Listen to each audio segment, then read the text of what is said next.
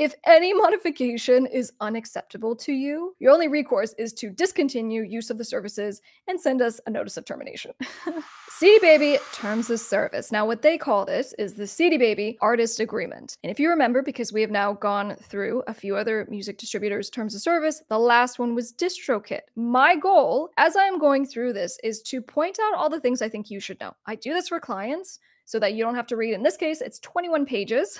So you don't have to read the 21 pages, and I can just brief you. And I can be like, hey, if you happen to be using CD Baby, here's some things you need to know. And a part of our investigation on this is in regards to your royalties. It's in regards to things like control. Can CD Baby just take your royalties if they decide for any reason. And what spawned a lot of this was, of course, our dispute with TuneCore, taking a look at their terms of service, the back and forth, the threats of litigation, the threats of class action lawsuits, and basically what we had discovered in their terms, which we found to be unlawful. And so those are the things we're thinking about as we go through today CD Baby's terms a service. All right, with that being said, let me share my screen. So here in the beginning, one of our favorite things to do is say, when was it last updated? This is actually from their website. Okay, I've just copied and pasted it here. But they last updated August 9th. The reason why we kind of care about that and give it two seconds of mention is because we're always like, when was the last time you had a problem with someone? Because that's always when they update these terms. It's when they had a problem, when they got a threat of something. And with TuneCore, they happened to update their terms of service not too long, maybe like 10 days after we sent our big demand letter. So we were just kind of making note of that. But anyway, so August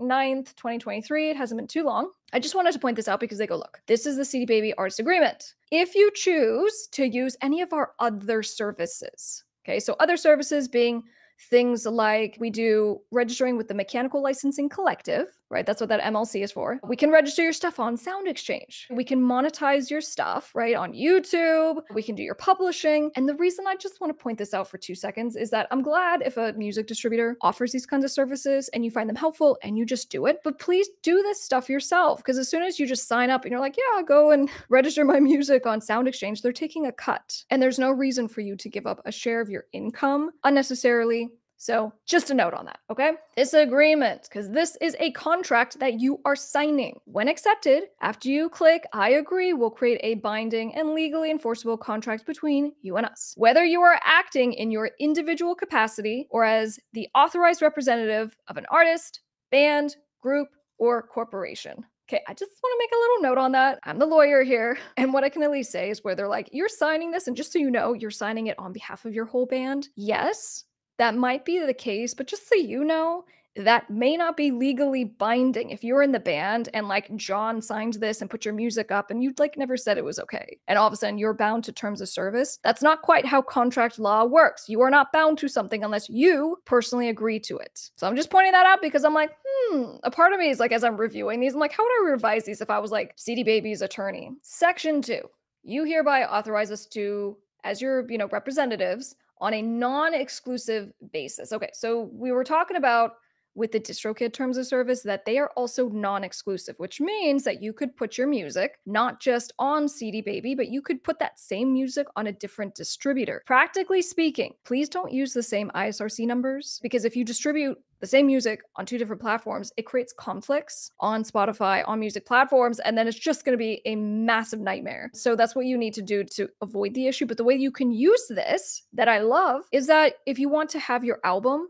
on CD Baby, but then for whatever reason you want to drop an EP that contains some of the songs from the album or singles from the album, you could distribute those on the secondary distributor. So because it's non-exclusive, we like that. We also like to DistroKid. You also give CD Baby the right to reproduce and create derivative work. So if you remember, if you distribute the song to YouTube, they create a video version with like your cover art. So that's that's what that is. A derivative work is something based on your song. Now, you also give them the right to do synchronization. If you guys remember here at the tippy top, I think it was so one of the deals is that they have the sync distribution addendum. So these are all the additional contracts that are referenced and included that you are technically agreeing to. So that's why, like most people, it's not even that you failed to click the terms of service and read it. It's like within it, there's 14 other contracts where they're like, you know, if you agree to this, you also agree to that. It's a mild nightmare, which is why I'm here to help you. But in any case, um, one of my clients was like, hey, I got a statement, and CD Baby said that I had revenue from a sync placement. He's like, I didn't even know. So anyway, you know, if you get a sync placement, meaning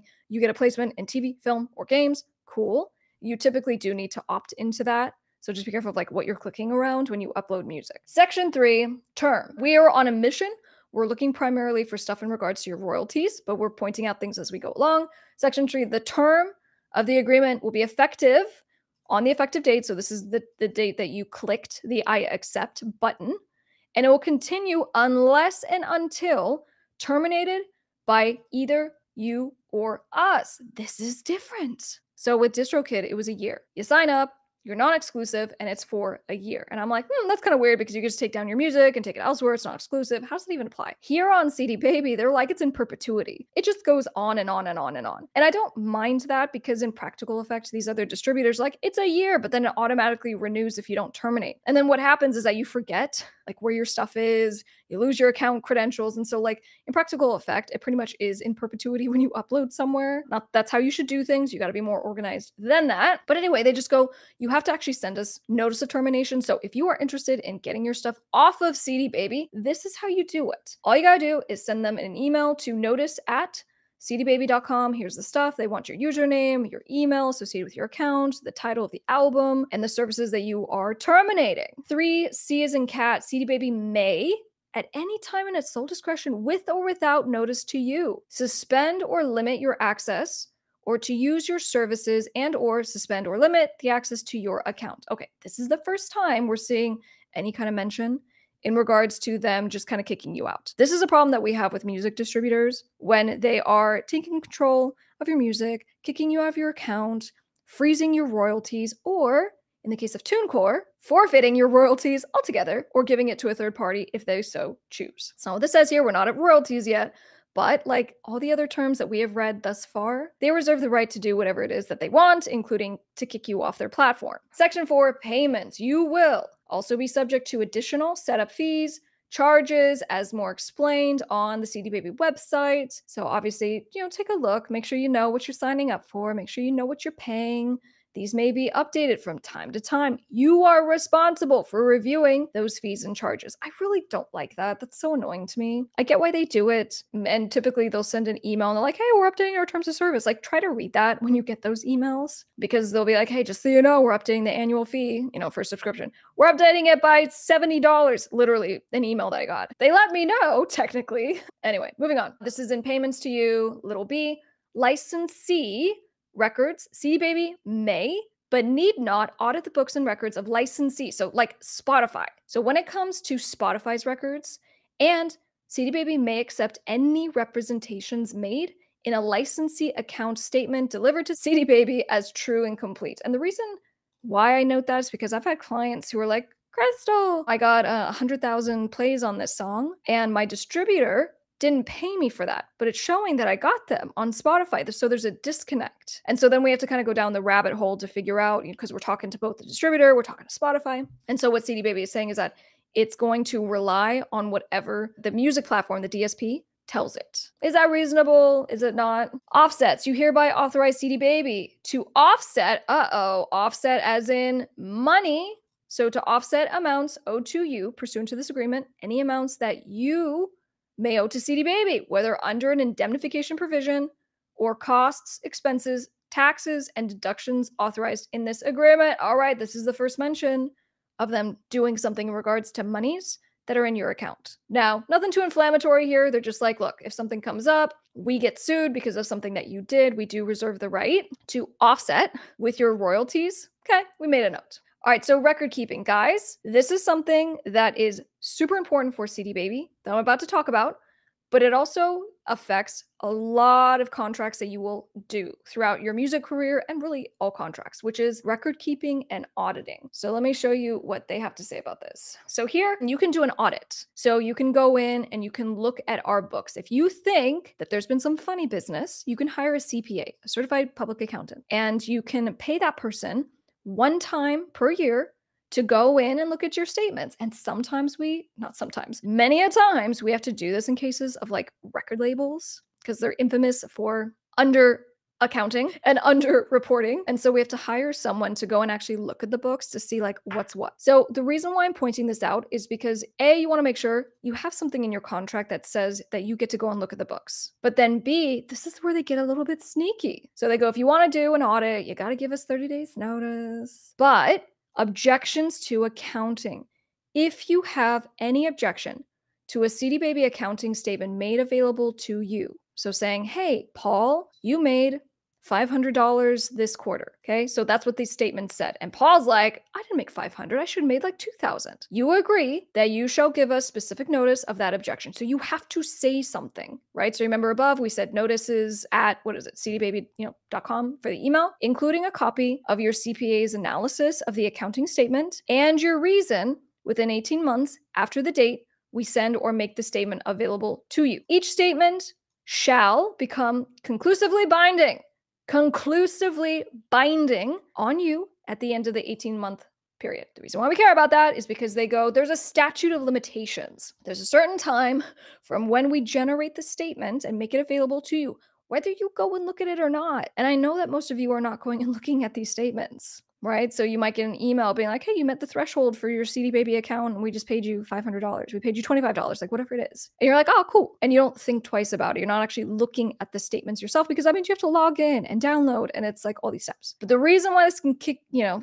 kick you in the butt, be painful, be no good, is that they're saying within 18 months, if you don't do anything, it cuts off your ability to do anything. So this is the way that they limit any potential liability or headache because if you wait too long and you're like, oh my gosh, I think you underpaid me.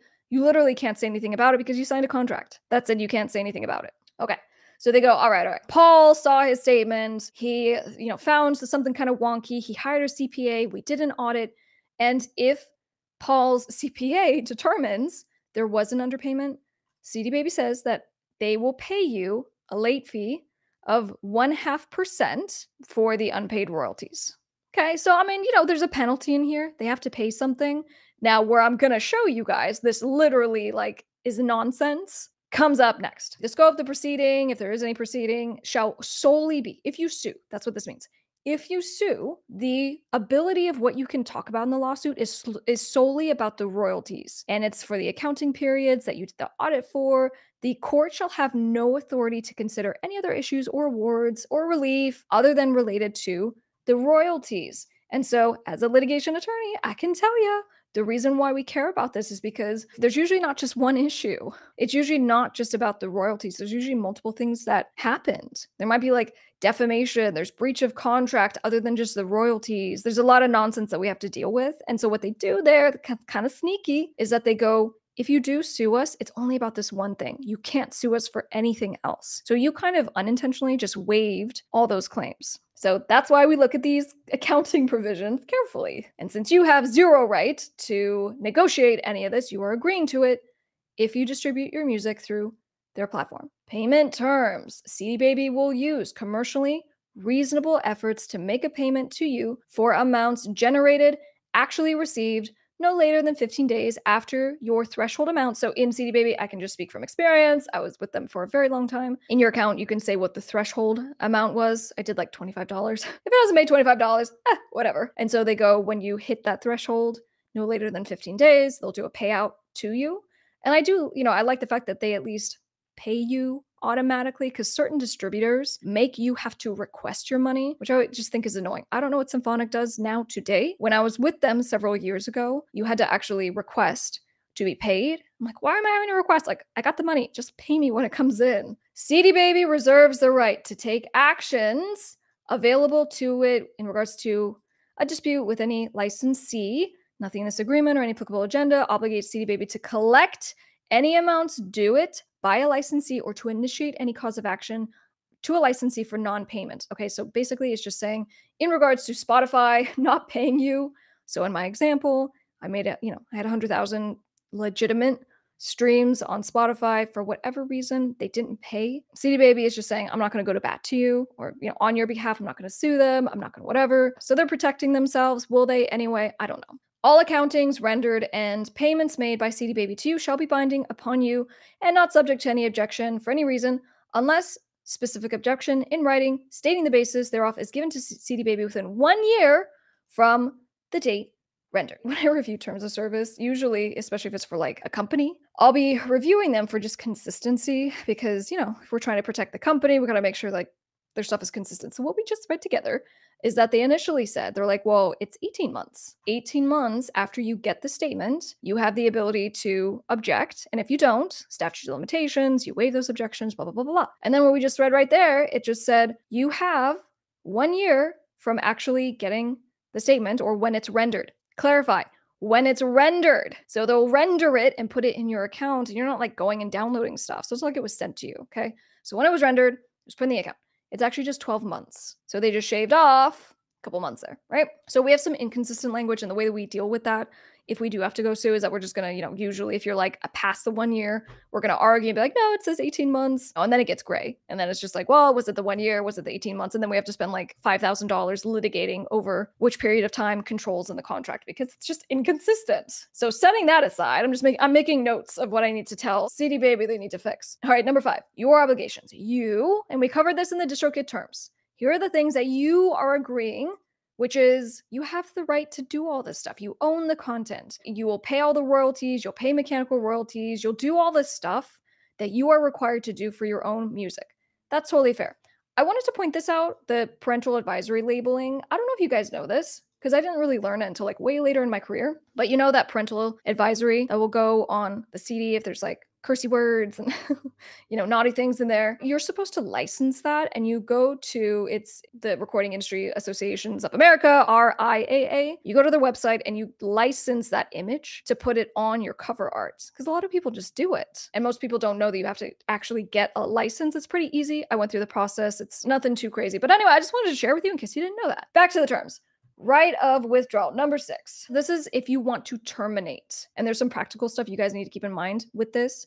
So if you want to take your music off of the platform, we established this is non exclusive. You can terminate at any time, which we kind of love, right? It's not even saying that it for sure is a year or two years or whatever. You can terminate whenever. So upon receipt of your notice of withdrawal, okay, so you have to still send that email saying all the things that they asked, they, they said that you said. Within five days, they're going to let the DSPs know and they'll start pulling down the music. Now, practically speaking, because I did pull my music off of CD Baby, it was more like 30 days where they're like, okay, now it should be officially down, but give like 30 days for processing. I just want to mention this. If you migrate your catalog in part, in full, you need to make sure you give time for it to fully come down. And what I mean by that is if you're like, I'm going to go with symphonic. And so you send your notice and then like five days lapse. And so before that full 30 days happens, you go and redistribute your music with the same ISRC numbers and all this stuff.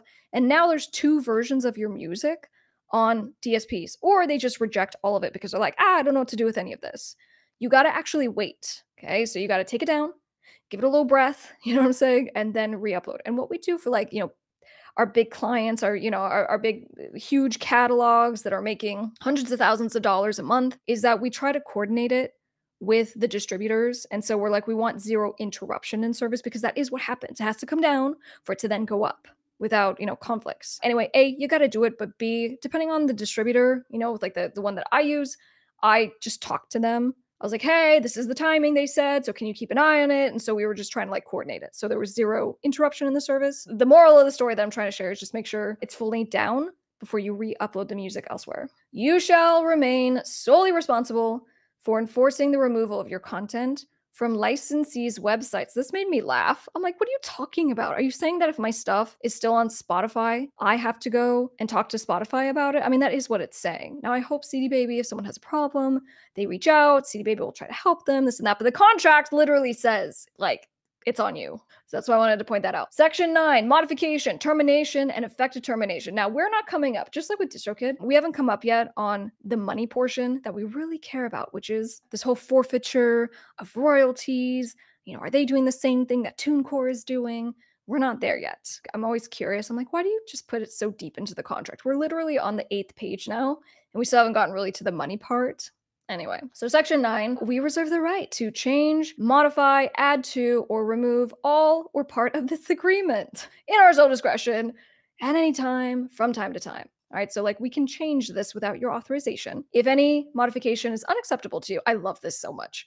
If any modification is unacceptable to you, your only resource is to or recourse, excuse me, your only recourse is to discontinue use of the services and send us a notice of termination. I don't mind when they just say it, you know what I'm saying? But I mean, that is the truth. And that's what I'm pointing out to you guys. I go, you just have to understand that when you agree to use these middlemen, because you have to, you have no choice. If you want your music on music platforms, you have zero negotiation power. You're being forced to sign this agreement, understand that they can also change the terms of the agreement later on. So you gotta, you know, pay attention to that, right? A Music Attorney is your number one legal resource for artists, producers, and record labels. Get contract templates, one on one legal advice, free master classes, and everything you need for your music business. Go to topmusicattorney.com. All right, section 10 removal of your content from the websites cd baby reserves the right and its sole and absolute discretion to remove your music from services for any reason. They also give some reasons if it's patently offensive, pornographic, defamatory, if it's subject to a dispute between you, us, or third party, if the content, you cannot document your rights. This is important because sometimes, you know, clients have had issues and they're like, you know, Paul, Paul's working with me, Chris, right? And we did a song together, and maybe like a lot of artists, we didn't get a contract into place, which is just terrible. Please don't do that. And then we have an issue with like a distributor, and they go, You need to show that you own the rights to the song, and you don't have a contract. So you're just creating issues for you, not only at the level with the actual producer. So Paul and I, if we have a dispute, like there's no clarity, there was no contract. But then we have nothing that we can send to a third party like CD Baby to prove what our agreement was. So, for all those reasons, you definitely want to get contract templates. We may remove your content from services in our reasonable business judgment if we suspect that your music or account has been subject to and or involved in fraudulent activities. Okay, and then this part, tell me what you guys think about this. They go, also, if you are abusive or rude or provide false or intentionally misleading information to any CD Baby employees or agents, they reserve the right to take your music down and kick you out. Anyway, so that last piece, I literally have not read that before for a company's terms to a degree. I mean, if someone's being rude or abusive to their employees, you know, I get it. That's that's nice for them to put in there. But what we're really trying to look at though is the basis that they give for removal of your music, which is anything. They do give a list and they use words like for infringement of intellectual property and it's not defined terms for defamation right? For stuff that's pornographic. These aren't defined terms. What does that mean? Kind of going back to the TuneCore situation where we had TuneCore saying that you know our artist isn't a real artist because they thought his music was trash and they thought what he did was terrible. It was just the, it's the most bizarre thing, especially when we're just trying to get him paid his lawfully earned royalties. But the consistent line through all of these terms of service for these distributors is that they just reserve the right to kick you out. And we don't even necessarily have a problem with that.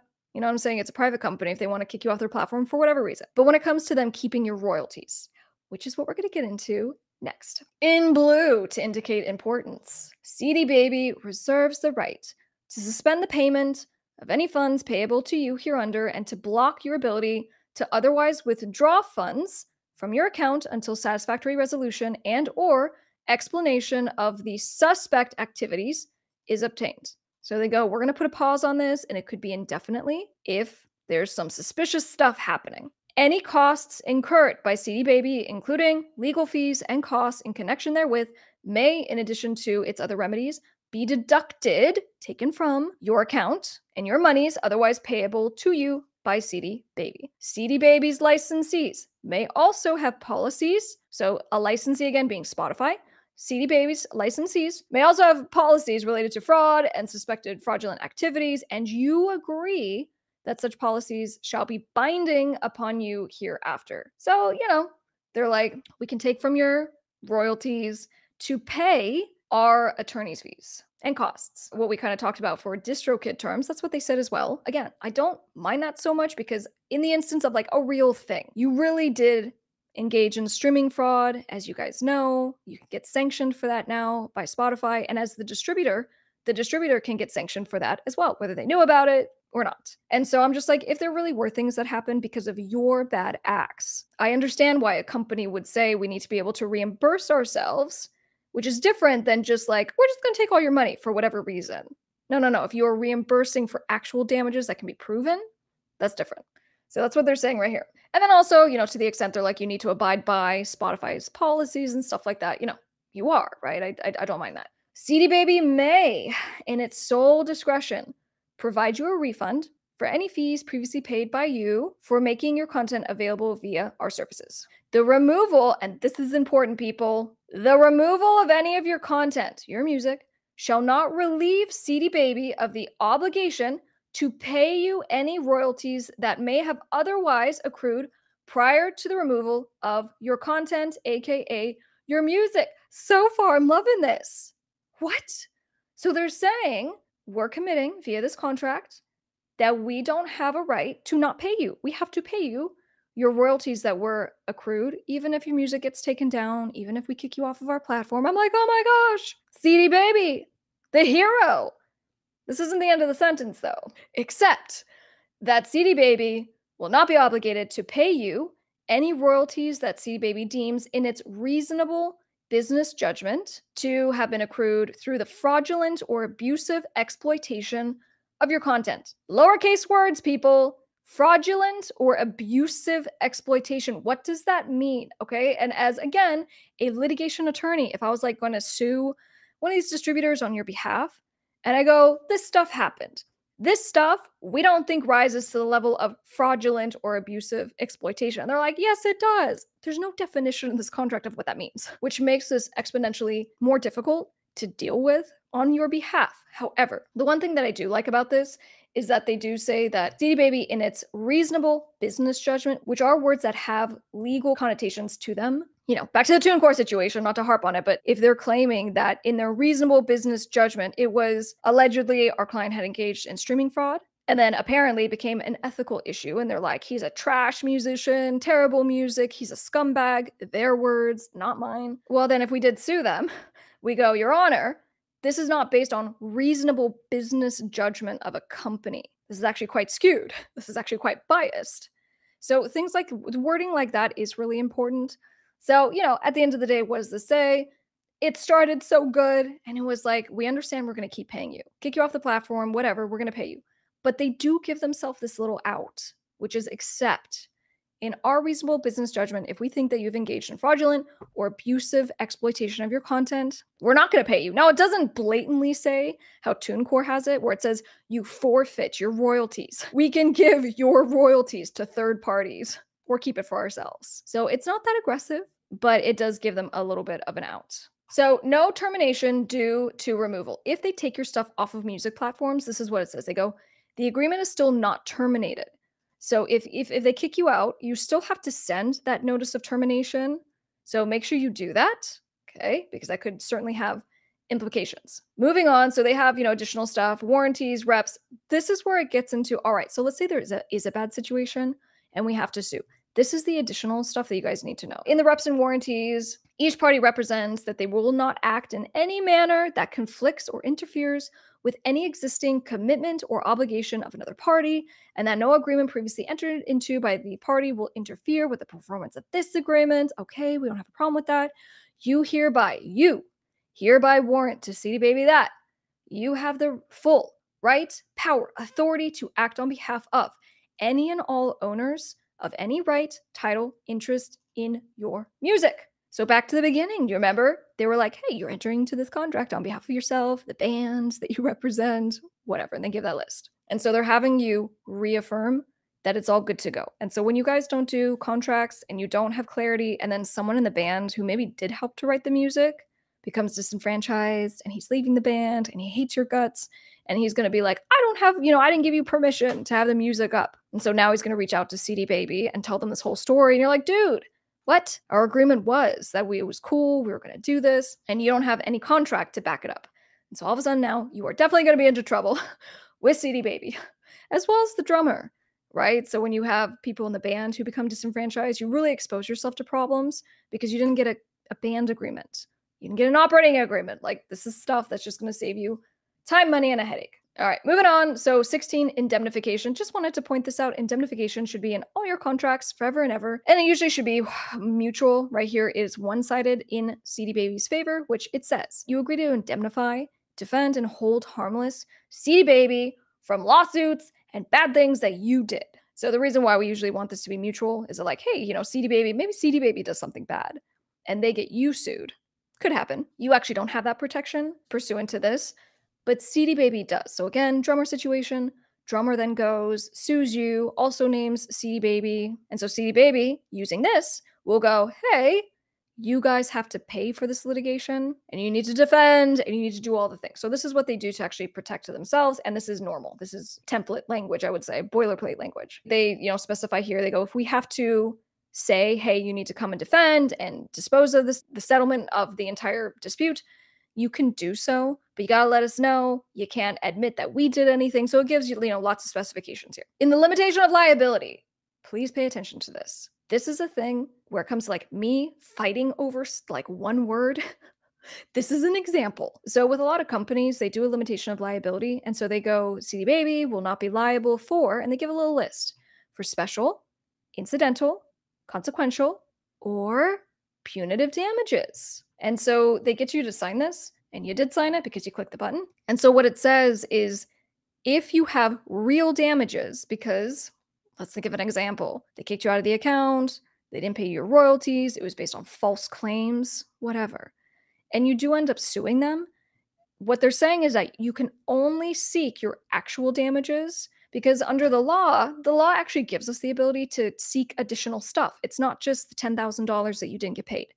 We can go and say, no, Paul needs to be paid and reimburse his attorney's fees, which would be consequential damages his attorney's fees. Because his music was down, he lost another $5,000 in royalties. Like all this nonsense happened because of these bad acts by CD Baby. And so by having these words in here, we cannot get your attorney's fees. We cannot get punitive damages, which can sometimes be two or three times your actual damages because the court wants to make an example of them. So I will go to war to get these words taken out, or at a minimum, this word consequential because like oh that's just stupid. If we have to sue you because you do something it's over $10000 and my client ends up paying me 50 over a year to litigate this and i win which i will my client is entitled to the $10000 plus the $50000 that they had to pay me to sue you. So we're just making notes because we don't get to negotiate any of this stuff, but you guys can at least keep this in mind for your future contracts. CD Baby shall also not be liable for any royalties, fees, payments, or damages arising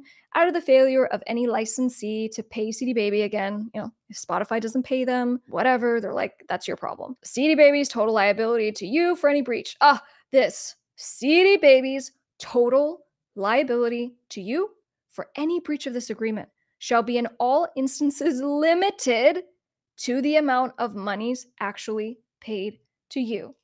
This is where they get you. I also fight about just limitations of liability language in these contracts. I just like go to war. I'm like, no. And it's because, like, if you only got paid again the $10,000 or even it's less, it, the actual monies that you were paid sets the bar of how much you can get from them. So they've already limited. They're like, you don't get to sue us for like consequential damages. You don't get your attorney's fees. You don't get, you know, punies, nothing. And whatever monies you actually earned through us, which might be really minimal, that's the cap. Even if your actual damages were like up here, we're going to cap you right here. So, you know, from the standpoint of like being CD Baby's attorney, if I was, this is great for them because it really limits how much like they have to pay out and I'm sure they, you know, they deal with a lot of claims and a lot of lawsuits and all that stuff. So it's great for them, not so great for you. All right, so limitations of liability and then also dispute resolution. They have mandatory arbitration in here. And there's a couple of things that I just like, you know, arbitration is more of an informal lawsuit in court. This is true. When you, you know, file a lawsuit in a real court of law, we file, we're in front of a judge, all this stuff. Arbitration is similar in that there's a complaint, an answer, some discovery, a hearing, but it's very informal. So instead of being in a court, for example, we might be in like a conference room. And I had this crazy experience where we had the arbitration in my law office's conference room. And like, it was just insane. But the bathroom that is outside near the conference room flooded, just so happened to flood in the middle of the arbitration. And obviously, just like flooded into the room and all this stuff. And so we went across the street to a hotel because we couldn't we couldn't not proceed. There was a lot of money. The arbitrator was there and all stuff. Court reporter. And so we went into the hotel and it was amazing because this hotel was very like not futuristic, you know what I'm saying? But it was like hip, you know, a hip, cool kind of kind of hotel. And we got a room. And in the room there was naked people, just lovely artistic, you know, portraits. So anyway, we had the arbitration, we finished in that room.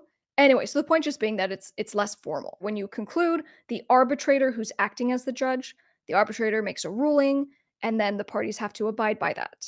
And so the reason why, you know, companies love arbitration is because it's less formal, there's less money involved, it's faster. And the reason why I can't stand arbitration is because often you're dealing with people who are not as good as judges. They don't get it, they make mistakes, they don't know what the hell's going on.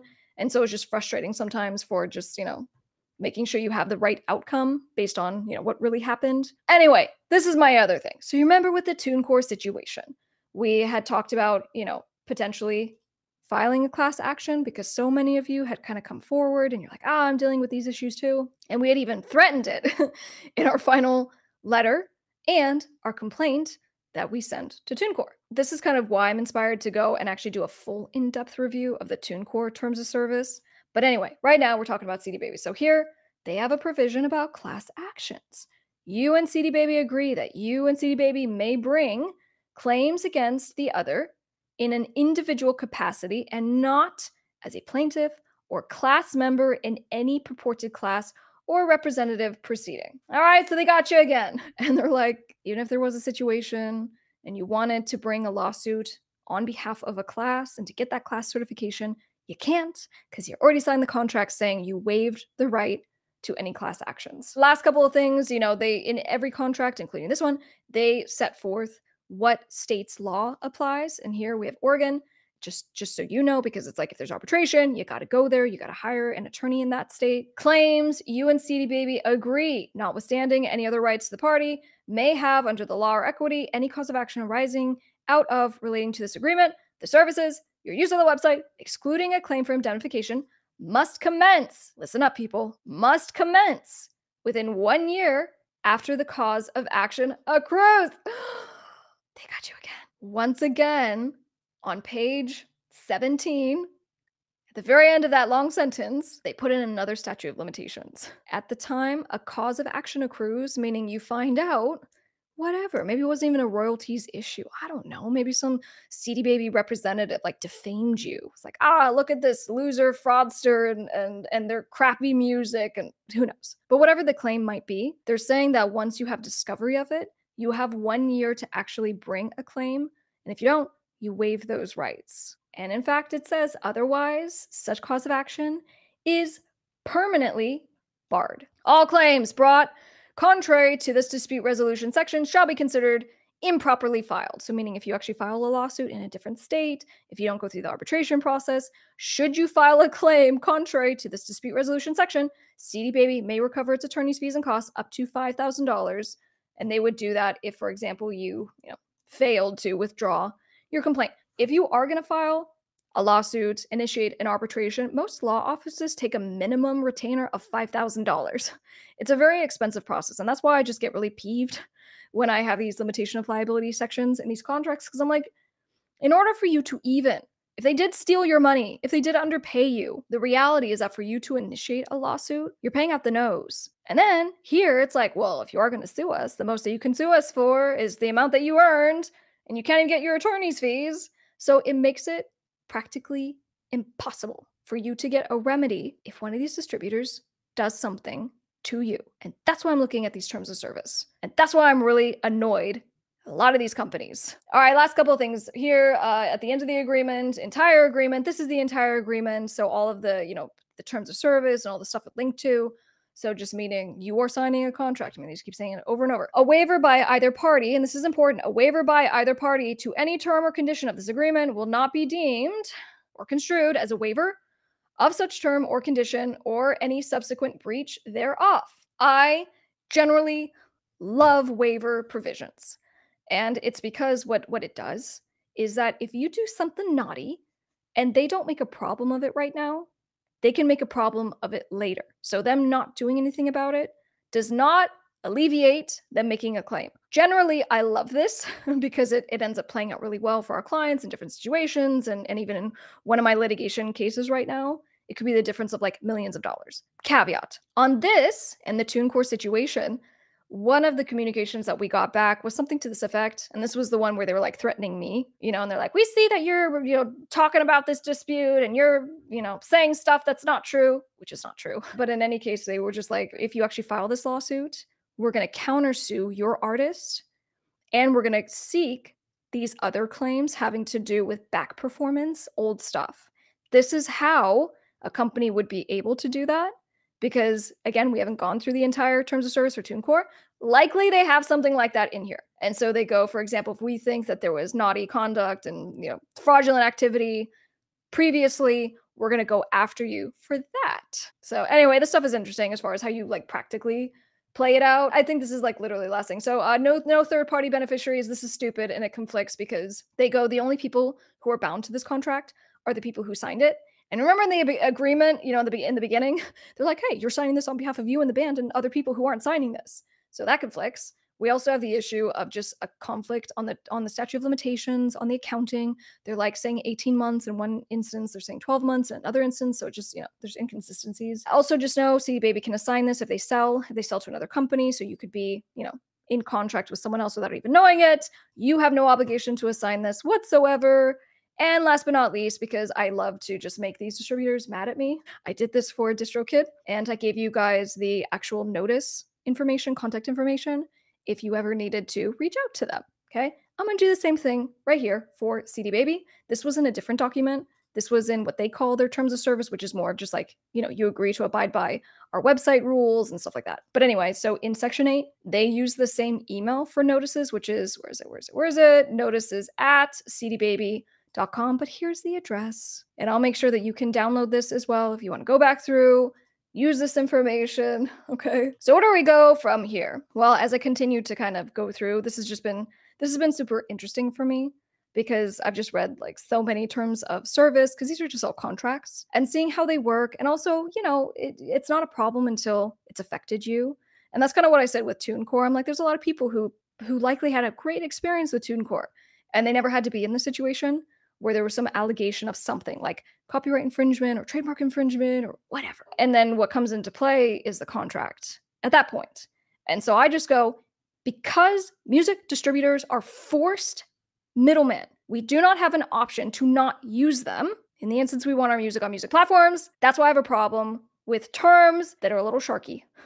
And that's saying it nicely. So it opens up the conversation in regards to direct to consumer, selling your stuff directly through your website, maybe even taking your music off of streaming platforms. Regardless of where you sit on it, drop a comment down below, and I'll see you on the next one.